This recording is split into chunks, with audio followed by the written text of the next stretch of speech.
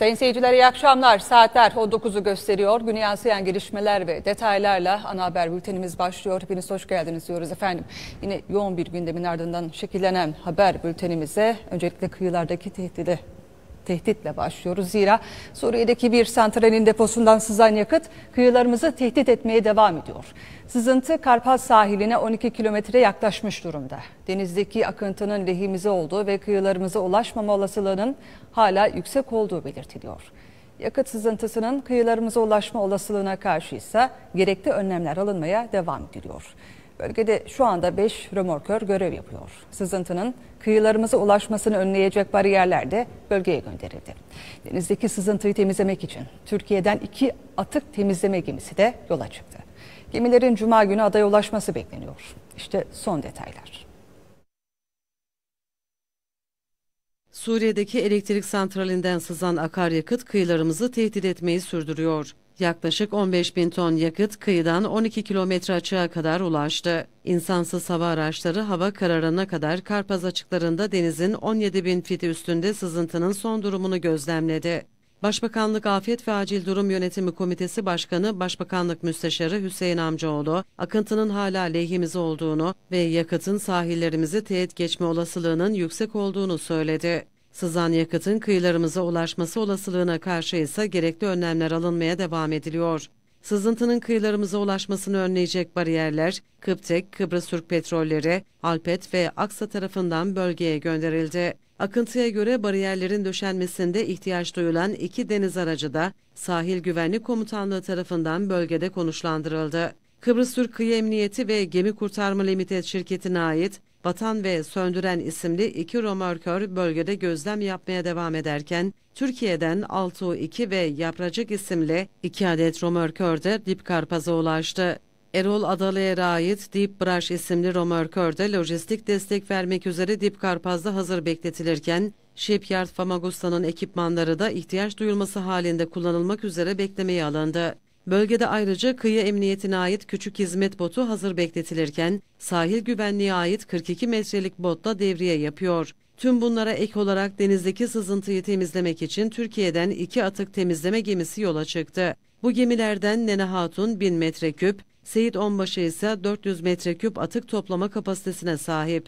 Bölgedeki son duruma ilişkin Bereti'ye özel açıklama yapan Başbakanlık Afet ve Acil Durum Yönetimi Komitesi Başkanı Amcaoğlu, Karpazburnu'ndan genel doğu istikametine doğru 18 kilometre açıkta tespit edilen parça parça birikintilerin kıyı emniyetine ait bayrak botu ve Türkiye'den gelen yapracık römorkoru tarafından incelemek üzere toplandığını söyledi. Diğer römorkorun ise uydu görüntülerinden kirlilik olduğu düşünülen 18 kilometrelik alanın daha açığına intikal ettiğini belirten amcaoğlu, bu römorkor bölgede kirlilik olup olmadığını araştıracak dedi. Amcaoğlu kıyı emniyetine ait Vatan isimli römorkorun ise Dipkarpaz burnunu komple dönerek yaptığı gözlemde kıyıda herhangi bir kirlilik emaresine rastlamadığını vurguladı.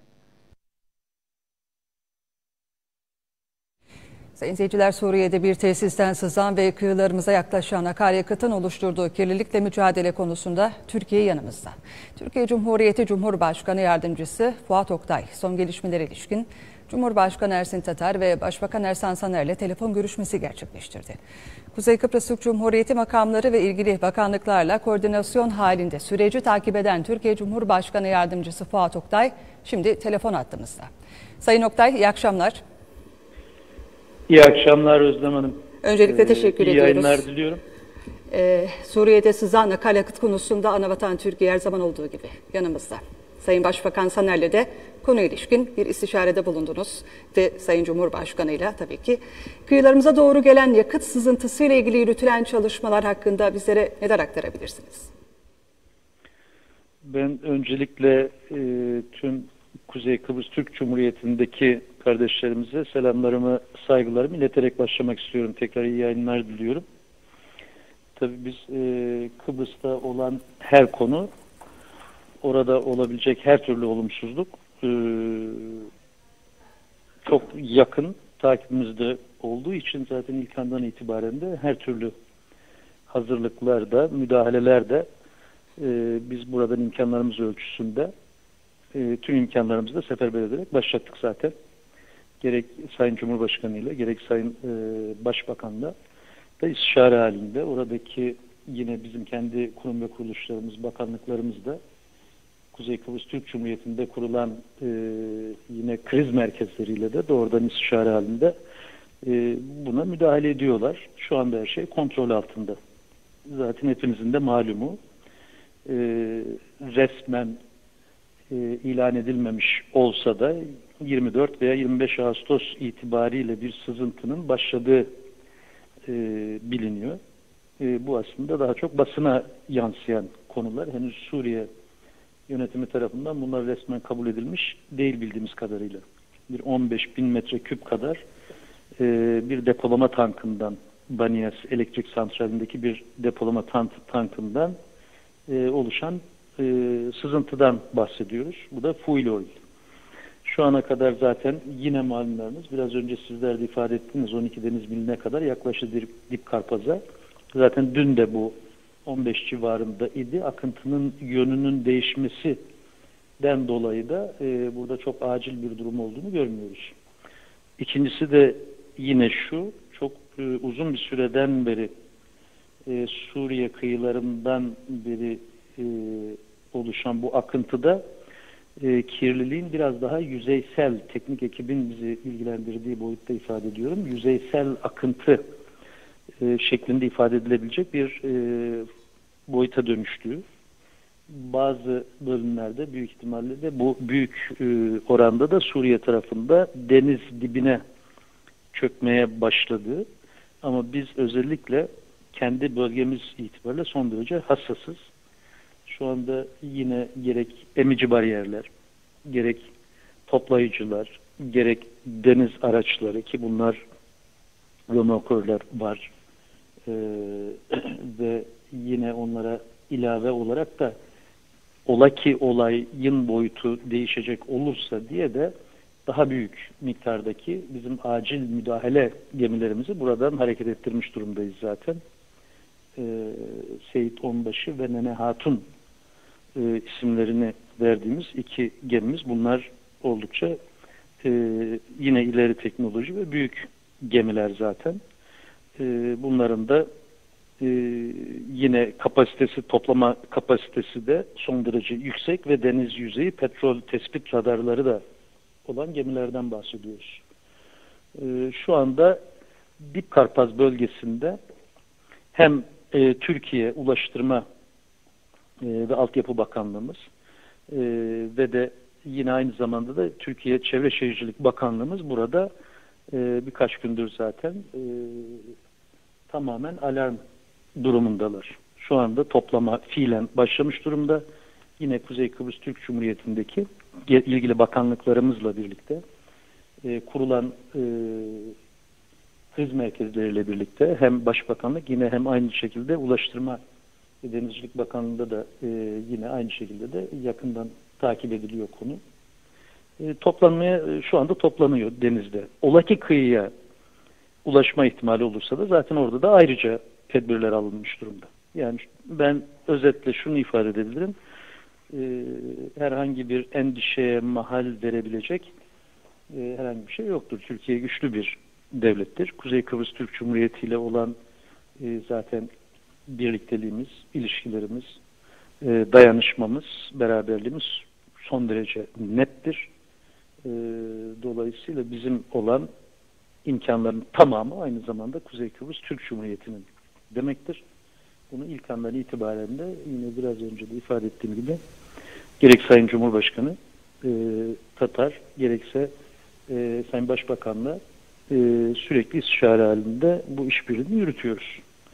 E, Kuzey Kıbrıs Türk Cumhuriyeti'ndeki kardeşlerimizin de bu anlamda telaşlanmalarına veya endişeye e, katılmalarına gerek yok. Gerekli tüm tedbirler alınmıştır. Bundan sonra da yapılması gereken her şey birlikte yapılacaktır. Ve yapılmaktadır da şu an itibariyle. Sayın Oktay çok teşekkür ediyoruz efendim verdiğiniz bilgiler için. Ben teşekkür ediyorum. Tekrar e, geçmiş olsun. İnşallah bu haliyle atlatırız. Aslında buradan tabii şunu da görüyoruz ki e, çevrenin ne kadar hassas olduğunu, e, herhangi bir ülkede olabilecek herhangi bir sıkıntının bile bizleri nasıl etkileyebileceğini her haliyle görüyoruz. E, dikkatli olmakta, hazırlıklı olmakta, çevreye karşı duyarlı olmakta son derece önemli. Ben tekrar teşekkür ediyorum. E, iyi yayınlar diliyorum. Sağ olun efendim. Sizi kırmayıp yayınımıza katıldığınız için ve verdiğiniz değerlendirmeleri, yaptığınız değerlendirmeler için. Değerli izleyenler, Suriye'deki akaryakıt sızıntısının ardından Başbakanlıkta Acil Afet Kriz Komitesi toplandı. Çevre dairesinden 16 kişilik bir ekipte Karpaz'ın 4 bölgesinde konuşlandı. Ekip, Türkiye'den gelen ekiplerle birlikte sızıntının denizdeki yayılımını yakından takip ediyor. Başbakan Ersan Saner öğle saatlerinde düzenlediği basın toplantısında son durumu değerlendirdi. Saner, denizdeki sızıntıyı temizlemek için Türkiye'den iki atık temizleme gemisinin Cuma günü adaya geleceğini belirterek hükümet olarak konuya duyarlıyız. An be an takip ediyoruz dedi. Suriye'deki bir elektrik santralinden denize sızan akaryakıt devlet ve hükümet yetkililerini alarma geçirdi. Akaryakıtın yönünü Karpaz sahillerine çevirmesinin ardından Başbakanlıkta kriz masası oluşturuldu. Ardından Bayındırlık Bulaştırma Bakanlığı'nda Türkiye'den gelen uzman ekiplerle birlikte hem sahada hem de masada değerlendirme toplantıları yapıldı. Başbakan Ersan Saner toplantıların ardından son durumu Başbakanlıkta düzenlediği basın toplantısıyla duyurdu. Suriye'nin Banyas kentindeki bir elektrik santralinden 15 bin tonluk bir akaryakıtın, fuel oil'in denize karışmasıyla birlikte Akdeniz'in e, batı kısmında çok ciddi bir çevre kirliliğiyle karşı karşıya bulunmaktayız.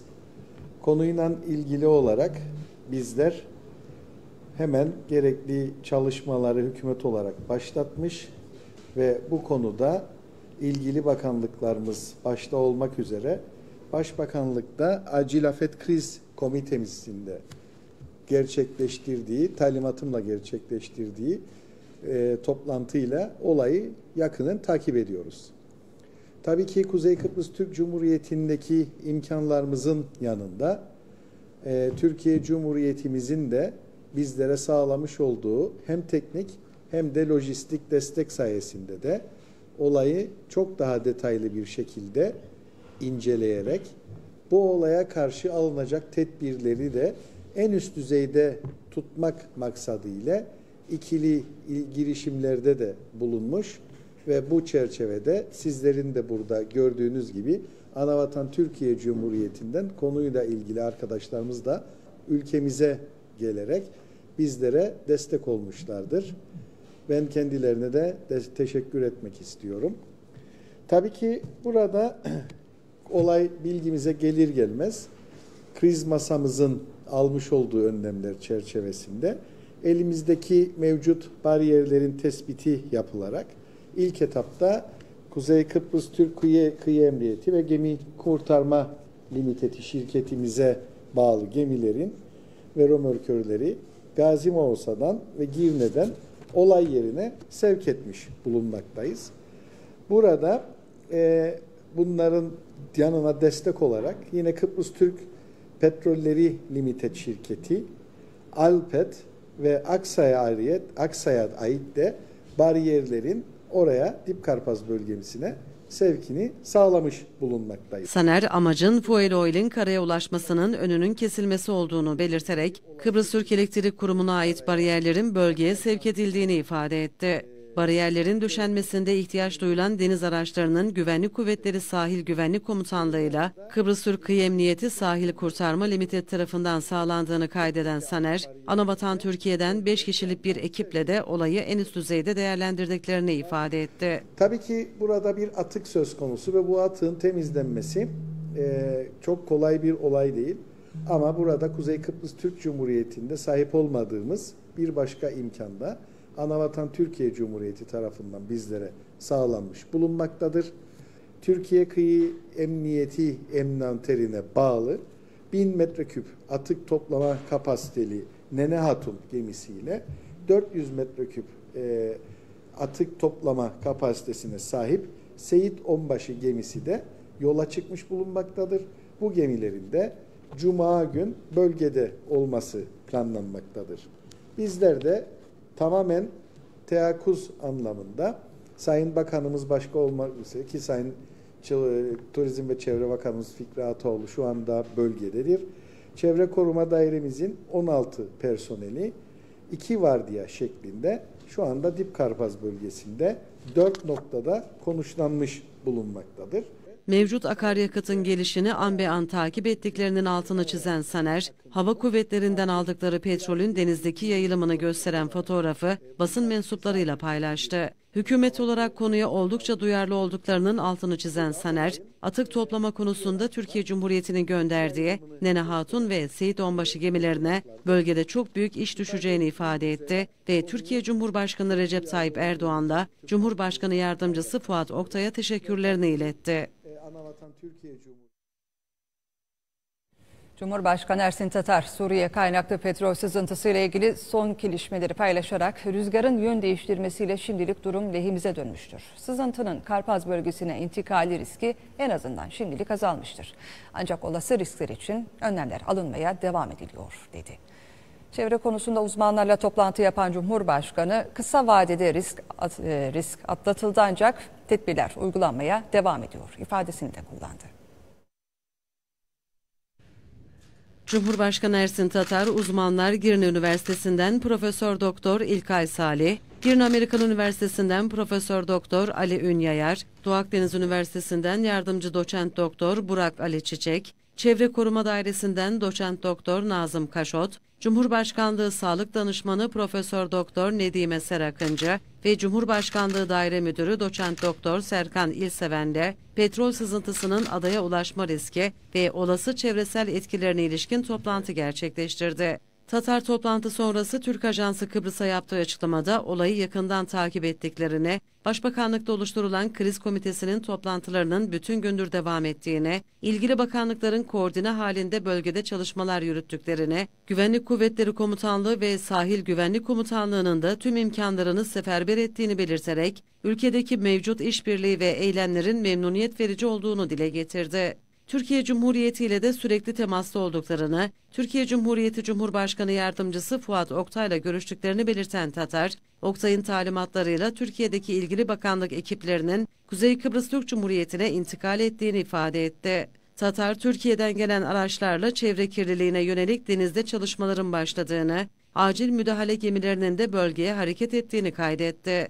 Sabah saatlerinde Türkiye Cumhuriyeti Savunma Bakanı Hulusi Akar'la da görüştüğünü söyleyen Tatar, Akar'ın talimatlarıyla da İHA ve SİHA'ların devreye konulduğunu, çekilen fotoğrafların tüm bakanlıkların hizmetine sunulduğunu belirtti. Tatar, yerel kurumlar ve yakıt şirketlerinden toplanan bariyerlerin 12 mil sınırına yerleştirilmeye başlandığını da bildirdi. Cumhurbaşkanı Tatar, Birleşmiş Milletler'le de temasa geçtiklerine işaret ederek, gerekli istişarelerde bulunduklarını, BM aracılığıyla Suriye'den açıklama beklediklerini dile getirdi. Akaryakıt sızıntısının son durumu hakkında edindiği bilgileri de paylaşan Tatar, kaçak şu anda sahillerimizden 12 mil uzaklıkta ve stabil halde. Bir yakınlaşma söz konusu değil. Mevcut görüşler İskenderun'a ve Suriye'ye doğru ilerleyebileceği yönünde. İskenderun'a yanaşması durumu söz konusu olursa zararın önlenmesi için elimizden ne gelirse yapacağız dedi. Uzmanların kaçağın zaman itibarıyla tomurcuk haline gelerek ağırlaşacağı ve denizin dibine çökeceği, bu formda ileride katran şeklinde tekrar kıyılara vurabileceği riski hakkında bilgi verdiğine değinen Tatar, gelecekte olası tüm riskler için çalışmaların yürütüldüğünü vurguladı ve şunları ekledi. Yaptığımız değerlendirmeler riskin azaldığı yönündedir ama bu bizim rahatlayacağımız anlamına gelmiyor. Buna benzer ileride oluşacak tehlikelere karşı ne önlemler alınabileceğini de görüştük. Çalışmamız ilgili birimlerle paylaşılacak ve yönetmelikler hazırlanacak. İlk defa bu büyüklükte bir riskle karşılaştık. İleride daha da büyüğü olabilir. İlgili yönetmeliklerin çıkarılması, hazırlıkların yapılması lazım. Şimdi de Karpaz'a bölgede yürütülen çalışmalarla ilgili son bilgileri Karpaz'da gün boyu haber nöbetinde bulunan BRT muhabiri Aydan Aslan'a uzanacağız ve ondan alacağız. Aydan oradaki son durum nedir? Senden alalım detayları.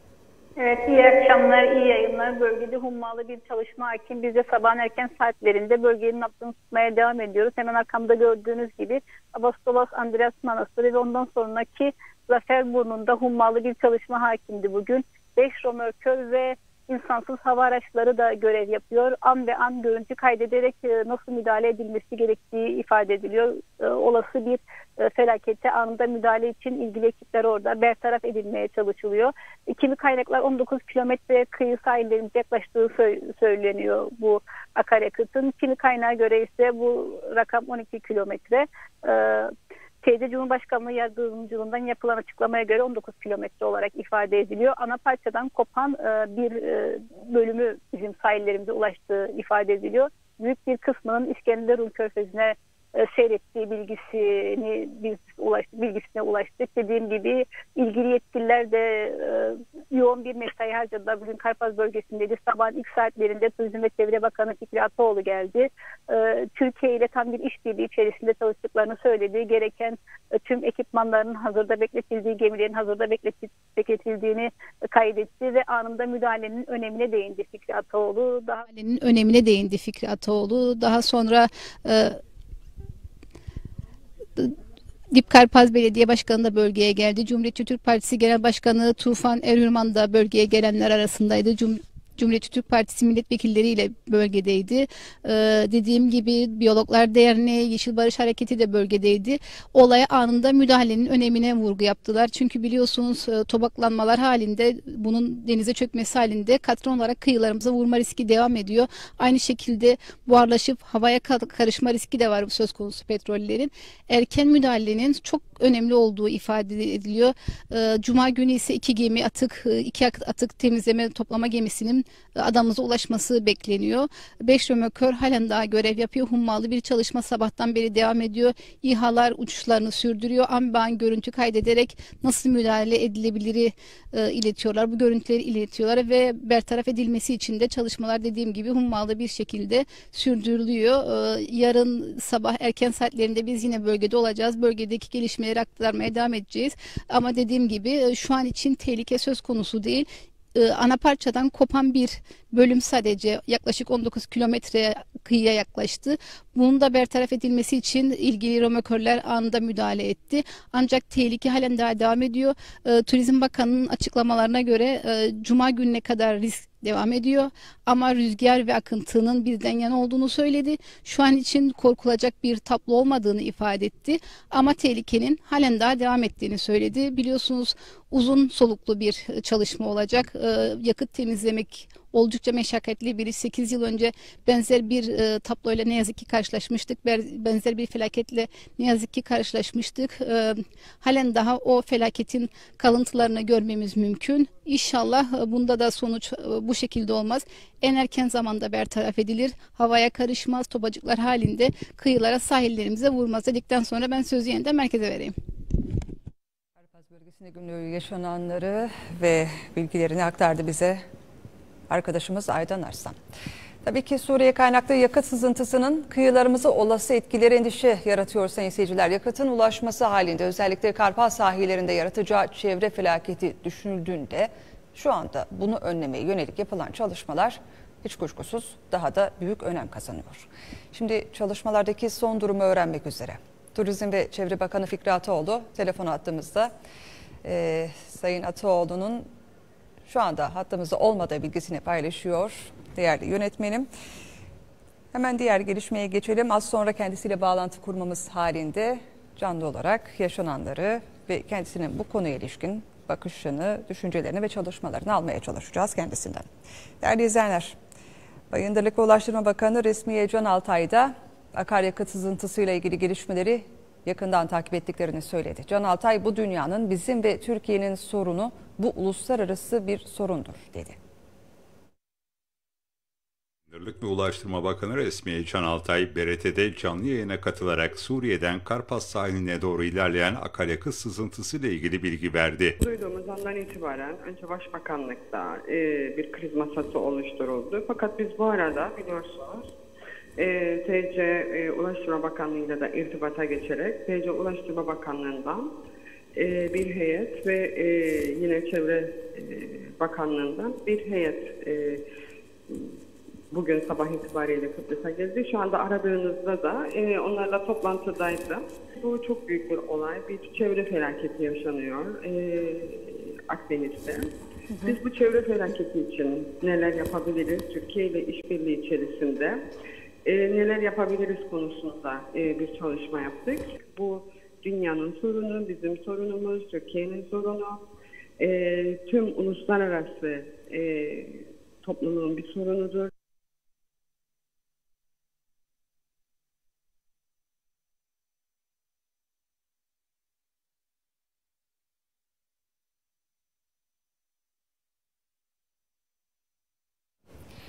Sayın seyirciler az önce aktarmıştık. Tabii ki bu Suriye kaynaklı yakıt sızıntısının kıyılarımıza olası etkileri düşünüldüğünde endişe yaratıyor. E, gün boyunca tüm siyasiler olduğu gibi Turizm ve Çevre Bakanı Fikri Ataoğlu da e, bölgede incelemeler yaptı. Şimdi çalışmalardaki son durumu öğrenmek üzere ve Bakan Fikri Ataoğlu'nun bu konuya bakışını öğrenmek üzere kendisi attığımızda. Sayın Ataoğlu iyi akşamlar, iyi yayınlar. İyi akşamlar Sayın Bakanım. Ee, yaşanan e, durum ortada, çalışmalar sürüyor. Bu konuya bakışınız ve yaptığınız çalışmalarla ilgili neler söylemek istersiniz bizlere? Evet, çok teşekkür ederim. Tabii ki dün öğle saatlerinde e, almış olduğumuz bilgi sonrasında harekete geçtik. Hareketlerin boyutunu zaten gün içerisinde e, anlattık. E, fakat esas mutlu olduğumuz nokta neticeye bakacak olursak e, rüzgarın etkisiyle Kuzey Kıbrıs Türk Cumhuriyeti'ni e, teğet geçeceği. E, bunun yanında e, dün akşam yapmış olduğumuz görüşmeler neticesinde e, bize gönderilen e, gemilerin e, şu anda da yolda daha büyük e, ve daha donanımlı gemilerin de Cuma günü e, hasıl olması ve bugün sabah İHA'ların e, alan tespitiyle ilgili yapmış oldukları uçuş ve o uçuş uçuş sonrasındaki belirlenen noktalar vardı. E, o büyük kütlenin e, yanında küçük bir kütlenin kopup ayrı hareket etmesini mevcut gemilerimiz bunu bir şekilde e, bertaraf etti. Onları kendi haznesine e, aldı tabii ki öncelikle çember içerisine e, almak e, şartıyla. E, zaten e, yaklaşık işte bir saat önce oradaki yetkili arkadaşları telefoniyen e, aradım ve o e, kopan e, kütlenin temizlendiğinin mesajını aldık. E, onun dışında e, yani bu bizi mutlu edecek olan haberlerden bir tanesi ve gelecek olan donanımlı gemilerin esas e, çok büyük boyutta olan e, o kütlenin bertarafıyla ilgili yapılacak olan çalışmaydı.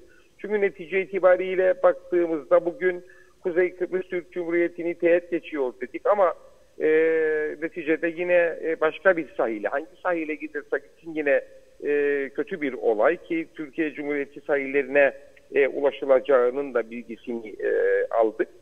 E, hiç fark etmez hangi ülkenin sahiline gidersek gitsin bu uluslararası yapılan bir olay. Bu felaketin önüne bir şekilde e, e, geçmemiz lazım.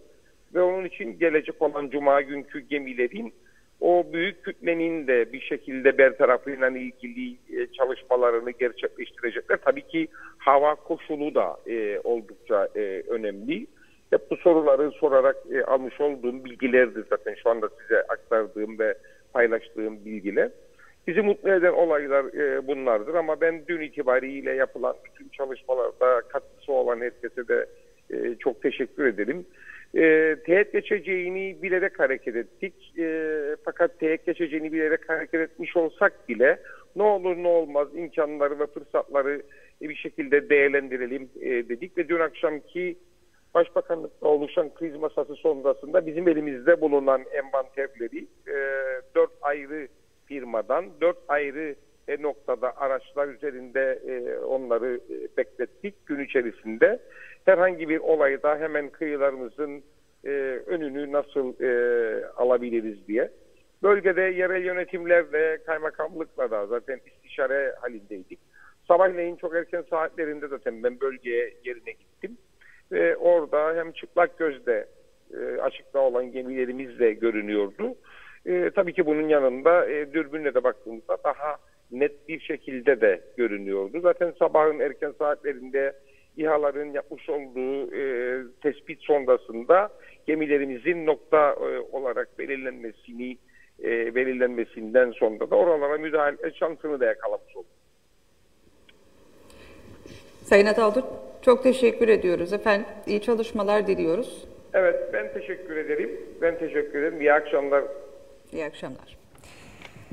Değerli izleyenler, Sayın Fikri Ataoğlu ile Turizm Çevre Bakanı Fikri Ataoğlu ile telefon bağlantımızı gerçekleştirdikten sonra bütünümüze diğer gelişmelerle devam edelim. Ulusal Birlik Partisi Genel Sekreteri Oğuzhan Asipoğlu akaryakıt sızıntısı nedeniyle bir an önce Suriye nezdinde gerekli girişimlerin yapılması için uluslararası hukukun uygun olduğuna dikkat çekti.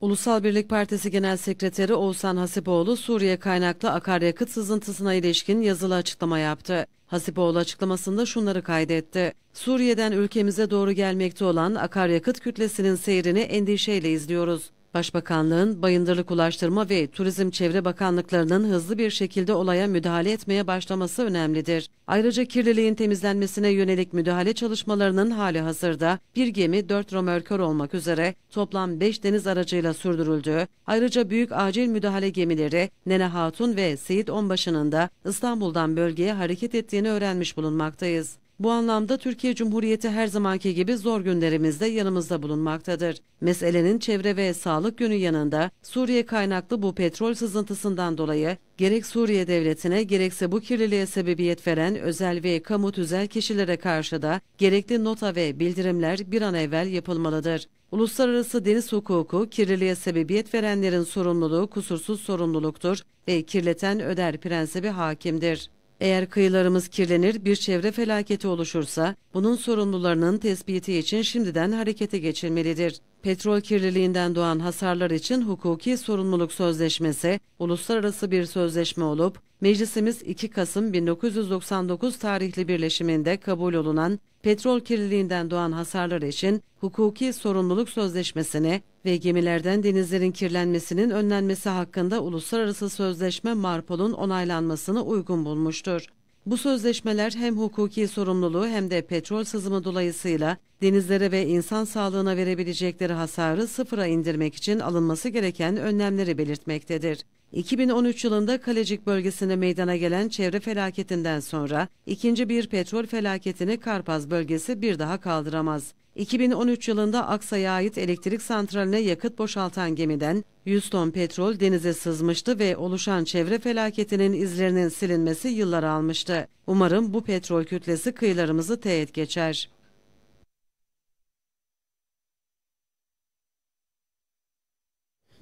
Ana muhalefet Cumhuriyetçi Türk Partisi Genel Başkanı Tufan Erhürman da Karpaz bölgesine giderek incelemelerde bulundu. Çok ciddi bir çevre felaketiyle karşı karşıyayız diyen Erhürman, hükümetten yapılan bizi teğet geçiyor, endişe edecek bir şey yok şeklindeki açıklamaları çok doğru bulmadığına vurgu yaptı. Erhürman sızıntıyla ilgili rehavete kapamamamız gerek ifadesini de kullandı gerekir. En azından şu anda Ana muhalefet Cumhuriyetçi Türk Partisi Genel Başkanı Tufan Erhürman, akaryakıt sızıntısı ile ilgili hükümetten yapılan bizi teğet geçiyor, pas geçiyor, endişe edecek bir şey yok şeklindeki açıklamaları çok doğru bulmadığını açıkladı. Suriye kaynaklı akaryakıt sızıntısının ulaşması beklenen bölgede incelemelerde bulunan Tufan Erhürman, belediye yaptığı değerlendirmede çok ciddi bir çevre felaketiyle karşı karşıya olunduğuna dikkat çekerek 15-20 bin ton atıktan bahsediliyor. Sızıntı kıyılarımızı tehdit eden bir boyuta ulaştı dedi. Şu anda 10 deniz mili uzaklığımızda aşağı yukarı bulunduğu rüzgarın şu andaki etkisi İskenderun körfezine doğru e, yönelmesinin daha yüksek ihtimal olduğunu gösteriyor. Ama tabii onun altını kalın bir şekilde çizmek istiyorum ki yani İskenderun'a doğru yönelmiş olması bizi pas geçtiği, bizi teğet geçtiği falan anlamına gelmiyor. Bir kere İskenderun'a doğru gidiyor olması da gene ortak denizimizi kirletiyor olması gerçeğini değiştirmiyor. Dolayısıyla bu bir rehavet sebebi hiçbir şekilde olamaz. İkincisi şu ana kadar ulaşabildiğimiz bilgiler İskenderun Körfezi'ne doğru gidiyor gibi görünse de 3'ünden itibaren yani 3 Eylül'den itibaren yönünü değiştirip tekrar adaya doğru e, gelmesi riskinin en azından şu anki projeksiyonda görülüyor.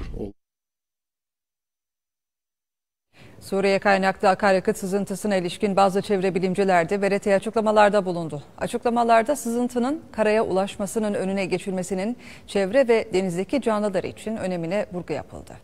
Açıklamada ayrıca akaryakıtın temizliğinin nasıl yapılması gerektiği konusunda bilgiler de paylaşıldı.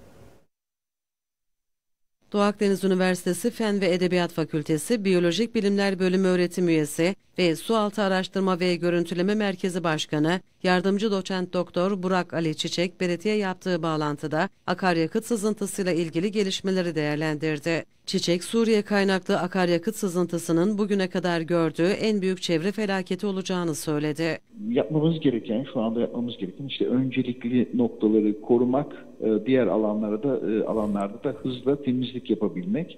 E, bu konuda da e, üzerine görev düşen bütün kurumlar desteklerini verdi. Ben santral müdürleri arkadaşlarım ve sektörde görev yapan işte dalış merkezleri, palamar hizmeti veren ya da teknisi olabilen müdahale edebilecek kurumlarla da konuştum. E, hepsi orada bekliyor. Ellerinden geleni yapacaklar. Uluslararası Kıbrıs Üniversitesi Yardımcı Doçent Doktor Ertan Akönde, ümidimiz akaryakıt sızıntısının kıyıları büyük oranda etkilememesi ve bu yönde gerekli önlemlerin alınmasıdır dedi. Gerekli önlemlerimizi e, almamız lazım. Nedir gerekli önlemler? Temizlik e, unsurudur. Şu anda yapabileceğimiz başka bir şey e, maalesef yok. E, ben çok e, üzgünüm doğal olarak bu konuda çünkü e, eski örnekleri de hatırlıyorum ve çok e, güç olduğunu, etkisinin e, çok büyük olduğunu yaşıyoruz. E, ümit edelim ki e, yani yön değiştirip ben e, hangi ülkeye gitse e, aynı şeyler yaşanacak. Girne Üniversitesi Rektörü Deniz Kirliliği ve Atmosfer Deniz İlişkisi uzmanı Profesör Doktor İlkay Salihoğlu da akaryakıtın kıyılara ulaşması halinde ilk 3 ayın kritik olduğunu belirtti. Petrol artığının artığı kıyılarımıza gir, gelmesi halinde mümkün olduğu kadar o yörede e, bir süre için hiç olmazsa bir 10-15 gün için denize girmemeleri. Evet. Yani benim önerim o olacak. Çünkü bu tür petrol atıkları ortamdan biraz hızlı uzaklaşır. Bu e, e, şeyse Fürlo ise işte 6 numarası var, 7 numarası 9'a kadar gider. E, hangisi olursa olsun bunların etki süresi daha kısadır diğer petrol türevlerine göre. Petrol uzmanı Profesör Doktor Salih Saner de akaryakıt sızıntısının ciddiyetine göre alınması gereken tedbirler olduğunu belirterek öncelikle akaryakıtın fiziksel olarak nasıl temizlenmesi gerektiği üzerinde durulmasının önemini vurguladı. Akıbeti ne olacak bu petrolün? Ee, bize gelecek mi gelmeyecek mi? Bunu nerededir coğrafik olarak, coğrafya olarak? Hangi gün başladı? Ne kadar miktar döküldü, ne kadar sürdü dökülmesi, önüne geçtiler mi? Fiziksel kimyasal özellikleri nedir bu petrolün? Bunların hep bilinmesi gerekir. Akaryakıt kirliliğinin kıyılarımıza ulaşıp ulaşmayacağı konusunda en önemli etkenlerden biri de hiç kuşkusuz rüzgar ve denizin durumu. Şimdi bu konulardaki son bilgileri meteoroloji uzmanı Fehmi Oktay'dan alacağız. Sayın Oktay iyi akşamlar. Meteorolojik tahminler neler öngörüyor? Olası aleyhimize bir e, rüzgar ve buna bağlı olarak dalgalar kıyıya yanaşır mı? Neler söyleyeceksiniz? Evet, öncelikle iyi akşamlar, hayırlı yayınlar Özlem Hanım. Ee, tabii ki rüzgar yönümüzde e, yaklaşık 2-3 gün bir değişiklik yok. Güney ve batı yönlerden e, 3 ile 4 kuvvetinde bir deniz bekliyoruz. Özellikle Magosa Körfezi'nde. Özellikle neden özellikle Magosa Körfezi'nde diyorum? Ee, kuzey sahil şeridinde ise bu rüzgarın yönü kuzey ve batı. Bu bölgede, bahis konusu bölgede rüzgarın yönü güney ve batıdan e, 3 ile 4 kuvvetinde. Tabii ki bu güneyden kuzeye doğru, kuzeydoğuya doğru e, dalgaların hareket etmesi demektir ki bu kirliliği de e, beraberinde e, kuzey kuzeydoğuya doğru hareket ettirecek diye düşünüyorum. Tabii dalga yüksekliğinden de bahsedersek dalga yüksekliğimizde 1-2 metre civarında bir dalga yüksekliğimiz var. Yine tekrarlayayım rüzgarımız güney ve batı yönlerden e, 3 ile 4 kuvvetinde. Çok teşekkür ediyoruz aktardığınız bilgiler için. Kolay gelsin diyoruz. İyi çalışmalar. Sağ olun. Hayırlı yayınlar. Amerika Birleşik Devletleri senatörlerinden Bob Menendez'in en büyük hayalinin Türk askerinin adadan gittiğini görmek olduğuna yönelik sözlerine Dışişleri Bakanı Tahsin Ertuğruloğlu'ndan sert tepki geldi. Menendez'in açıklamasını şiddetle kınayan Ertuğruloğlu, Menendez'in sırf sarf ettiği sözler Kuzey Kıbrıs Türk Cumhuriyeti için yok hükmündedir, dedi. Dışişleri Bakanı Tahsin Ertuğruloğlu, Amerika Birleşik Devletleri senatörlerinden Bob Menendez'in Güney Kıbrıs Rum yönetimi tarafından 3. Makaryos Büyükhaç nişanı ile ödüllendirilmesi töreninde yaptığı konuşmada son Türk askerinin adadan ayrıldığını görme hedefine ilişkin açıklamasını şiddetle kınadıklarını söyledi. Ertuğruloğlu yaptığı yazılı açıklamada Amerika Senatosu'nda anavatan Türkiye ve Kuzey Kıbrıs Türk Cumhuriyeti aleyhine birçok karar tasarısının hazırlanmasına öncülük eden Türk düşmanlığıyla nam salmış Senatör Menendez'in Amerika'da mukim Rum Yunan derneklerinin desteğiyle kazandığı seçimin borcunu ödeme gailesiyle sarf ettiği sözler Kuzey Kıbrıs Türk Cumhuriyeti için yok hükmündedir dedi. Dışişleri Bakanı Ertuğruloğlu açıklamasının devamında şunları kaydetti. Kişisel kazanç uğruna Rum-Yunan ikilisine destek veren Menendez, Türkiye-Amerika ilişkilerini zedelemektedir. Benzer şekilde Menendez, ada ve bölgede güven ve istikrarın tekrar tesisi için gösterilen çabaları da baltalamaktadır. Türk askerinin Rum tarafınca özellikle 1963-1974 yıllar arasında toplu katliam dahil her türlü insanlık dışı uygulamaya maruz bırakılan Kıbrıs Türk halkının yok edilmesini önlemek gayesiyle adaya müdahale ettiğini Menendez'e hatırlatmak isteriz. Türkiye Cumhuriyeti'nin 1960 Garanti Antlaşması'ndan doğan hak ve yükümlülüklerini kullanmak suretiyle müdahalesini gerçekleştirdiği inkar edilemez bir gerçektir. Kıbrıs Türk halkının yegane güvencesi olan Türk Silahlı Kuvvetleri'nin geçmiş acıların tekrarlanmasına mani olmak amacıyla Kıbrıs Türk halkının isteği üzerine adada bulunduğunu vurgularız. 1974 yılından itibaren adada hüküm süren, barış ve güvenlik ortamını sağlayan Türk Silahlı Kuvvetleri'nin adadaki varlığını sona erdirmesini talep etmek, adayı tekrar savaş ve Rum vahşetine teslim etmek demektir. Bunu da ancak Menendez gibi Kıbrıs konusunu hiç bilmeyen, cahilliğini de Türk düşmanlığıyla kamufle etmeye çalışan zavallılar yapabilir. Kendisi de sözleri de yok hükmündedir. Halkın Partisi Genel Başkanı Kudret Özersay da en büyük hayalinin adadaki son Türk askerinin gittiğini görmek olduğunu söyleyen Menendez'e yanıt vererek eğer gerçekten en büyük hayali buysa bu konu hayatının en büyük hayal kırıklığı olacak dedi. Özersay Türk askeri varlığının caydırıcı etkisi nedeniyle barışın ve istikrarın güvencesi olduğunu vurguladı. Sonucunda e, ülkede... Halkın Partisi Genel Başkanı Kudret Özersay, en büyük hayalinin adadaki son Türk askerinin gittiğini görmek olduğunu söyleyen Amerika Birleşik Devletleri Senatörü Menendez'e yanıt verdi. Türk askeri varlığının caydırıcı etkisi nedeniyle barışın ve istikrarın güvencesi olduğunu belirten Özersay, Amerikalı senatör Menendez, en büyük hayalinin adadaki son Türk askerinin de gittiğini görmek olduğunu söylemiş. Kendisini temin ederim ki eğer gerçekten en büyük hayali buysa bu konu hayatının en büyük hayal kırıklığı olacak ifadelerini kullandı. Başbakan Yardımcısı Ekonomi ve Enerji Bakanı Erhan Arıklı, Gazi Mahsusu Serbest Liman Bölge Müdürlüğü'nü ziyaret ederek sorunlar hakkında bilgi aldı ve sorunların çözümü konusunda her türlü desteği vermeye hazır olduklarını söyledi. Başbakan Yardımcısı Ekonomi ve Enerji Bakanı Erhan Arıklı, Gazi Mavsa Serbest Liman Bölge Müdürlüğü'ne ziyaret gerçekleştirerek sorunları dinledi ve istişarelerde bulundu.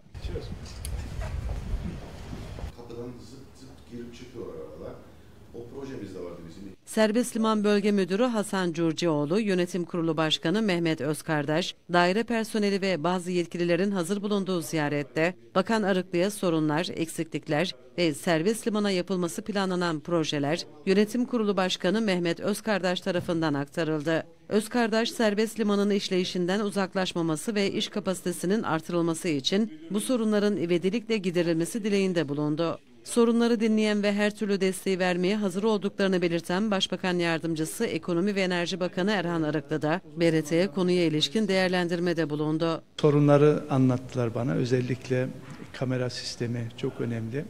Aynı zamanda e, bu bölgeye suyun verilmesi, şebeke suyunun verilmesi çok önemli. Bu projeleri kantar özellikle tartı meselesi oldukça çağ dışı kalmış. Bununla ilgili e, çalışmaları var gümrük kapısının e, ile ilgili yer değişikliği e, sıkıntılar var.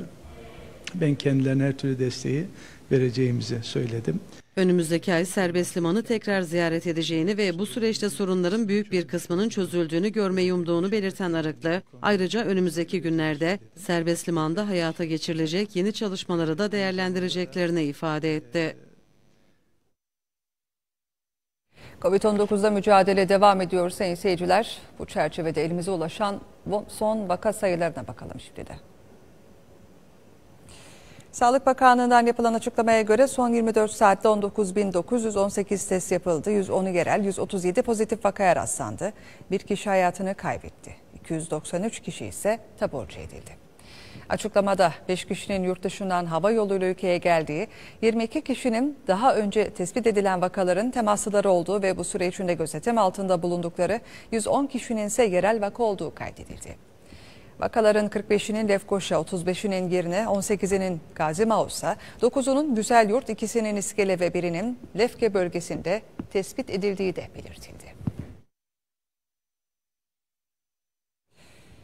Bu haberle 19 Ana Haber bültenimizi burada noktalıyor. Güzel bir akşam geçirmenizi diliyoruz. Esen kalın, hoşçakalın.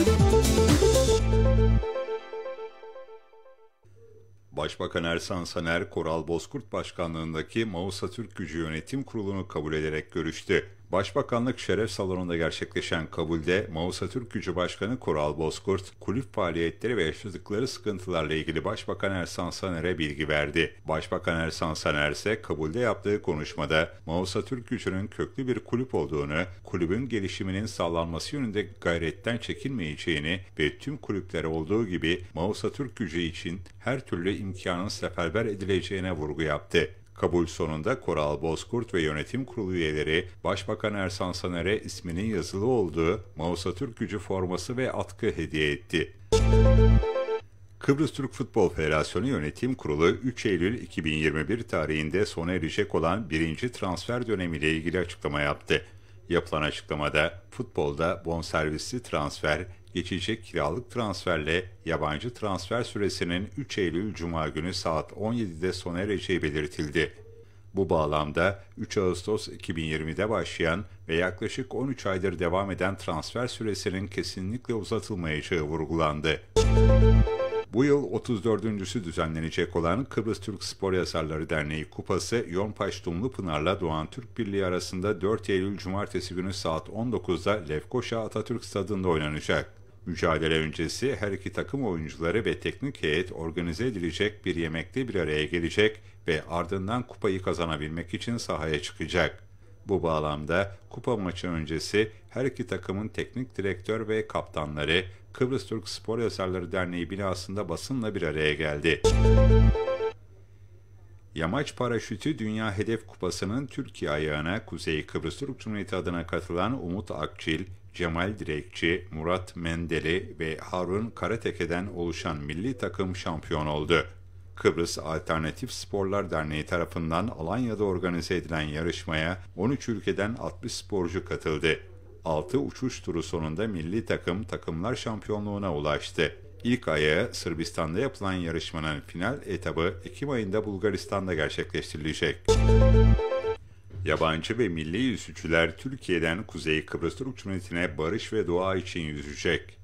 Hacettepe Üniversitesi Gençlik ve Spor Kulübü Master Yüzme takımının 1 Eylül Dünya Barış Günü dolayısıyla düzenlediği Türkiye ile Kuzey Kıbrıs Türk Cumhuriyeti arasında çift yönlü yüzülen ve Akdeniz Barış Parkuru olarak adlandırılan organizasyona katılan yabancı ve milli yüzücülerin yarın su ve hava koşullarının elverişli olması halinde Girne Antik Liman'da olmaları öngörülüyor. Kuzey Kıbrıs Elit TV tarafından organize edilen ve sponsorluğunu Kuzey Spor Haber'in yapacağı top sektirme yarışması başlıyor. Kuzey Kıbrıs Türk Cumhuriyeti rekortmeni benim diyorsan yarışma seni bekliyor sloganıyla gerçekleştirilecek olan top sektirme yarışmasına U11, U12, U13 yaş grubu çocuklar katılabilecek. Yarışma için katılım şartları ve kurallarla ilgili detaylı bilgiler hafta içerisinde yayınlanacak. Basketbol Federasyonu'nun 1-4 Eylül tarihlerinde organize ettiği 3x3 basketbol heyecanı Girne Ramadan Cemil Meydanı'nda yapılacak. Turnuvada U15, U17 büyükler, Master A ve Master B kategorilerinde maçlar oynanacak. 3 kişilik iki takımın standart bir yarı saha içerisinde tek potada oynadığı 3x3 basketbol FIBA tarafından da destekleniyor. 30 Ağustos Zafer Bayramı etkinlikleri çerçevesinde düzenlenen Zafer Kupası Tekvando, Karate, Aikido, Budo, Martial Arts, Zor Hareketler Şampiyonası yine Avrasya Tekvando Merkezi'nde gerçekleşti. Lisansları vizeli bay ve bayan sporcuların katıldığı müsabakalar büyük bir çekişmeye sahne oldu. Başarılı sporculara ödüllerini Federasyon Başkanı Senior Grandmaster Eyüp Zafer Gökbilen'le bölge ve kulüp temsilcileri verdi. Badminton Federasyonu uzman psikolog Gözde Acaray nesaretinde sporcu semineri düzenliyor. Başkan Fırat Deniz açıklamasında COVID-19 döneminde geri dönüş ve adaptasyon sürelerinde sporcuların fiziksel, zihinsel, duygusal ve sosyal boyutlarına da dikkat etmek gerektiği düşüncesiyle bu semineri düzenlediklerini söyledi. Uzman psikolog Acaray ise açıklamasında sporcularda performans düşüklüğünde en etkili faktörlerin psikolojik olduğuna vurgu yaptı. Türkiye Milli Futbol Takımı 2022 FIFA Dünya Kupası elemeleri G grubu 4. maçında Karadağ'ı konuk edecek. Beşiktaş Park'taki mücadele 21.45'te başlayacak. Milliler grubunun ilk maçında İstanbul'da Hollanda'yı 4-2, ikinci maçta İspanya'dan Norveç'i 3-0 yenerken, üçüncü maçında sahasında Letonya ile 3-3 berabere kalmıştı. Milli takım grupta 7 puanla lider durumda bulunuyor. Türkiye Milli Kadın Voleybol takımı Avrupa Voleybol Şampiyonası'nın çeyrek finalinde Polonya ile karşı karşıya gelecek. Türkiye ile Polonya arasındaki çeyrek final mücadelesi Bulgaristan'ın Filibe kentinde saat 20.30'da başlayacak. Milli takım Polonya'yı elemesi halinde şampiyonanın yarı finalinde Sırbistan-Fransa eşleşmesinin galibiyle karşılaşacak. Fenerbahçe, Amerika Birleşik Devletleri'nin Los Angeles takımında forma giyen hücum oyuncusu Uruguaylı Diego Rossi ile anlaşmaya vardığını duyurdu. Sarı lacivertli kulüpten yapılan açıklamada 23 yaşındaki futbolcuyla transfer için prensip anlaşmasına varıldığı belirtilerek oyuncu sağlık kontrollerinden geçmek ve görüşmelere devam etmek üzere İstanbul'a davet edilmiştir denildi. İngiltere Premier Lig ekiplerinden Norwich City milli futbolcu Ozan Kabak'ı sezon sonuna kadar kiralık olarak kadrosuna kattı. İngiliz kulübünden yapılan açıklamada Almanya'nın Schalke 04 takımında forma giyen 21 yaşındaki oyuncusunun satın alma opsiyonuyla sezon sonuna kadar kiralandığı kaydedildi.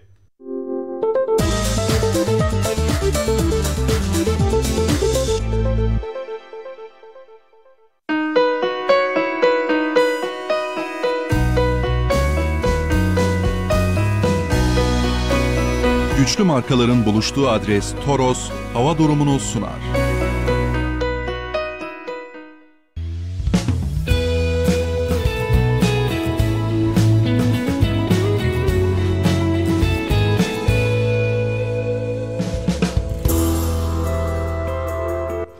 Alçak basınç sistemiyle sıcak ve nemli hava kütlesinin etkisinde kalacak olan yurdumuzda bugün hava açık ve az bulutlu, bir ara parçalı bulutlu geçecek. Rüzgar güney ve batıdan orta kuvvette esecek. Bu gece en düşük hava sıcaklığı Lefkoşa'da 19, Girne'de 24, Alev Kayası'nda 18, Güzellurt'ta 17, Gazi Mausa'da 21, Lefke'de 23 ve Yeni Erenköy'de ise 22 derece dolaylarında olacak. Yarın gündüz en yüksek hava sıcaklığı Lefkoşa'da 36, Girne'de 32, Alev Kayası'nda 31, Güzellurt'ta 34, Gazi Mausa'da 33, Lefke'de 28 ve Yeni Erenköy'de ise 33 derece dolaylarında olacak. Bölgemiz denizlerinde de bugün hava açık ve az bulutlu, bir ara parçalı bulutlu geçecek.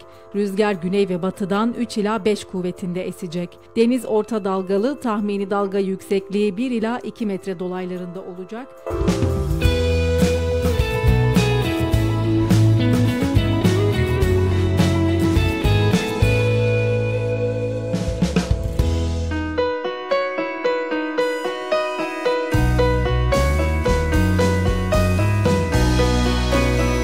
Güçlü markaların buluştuğu adres Toros hava durumunu sundu.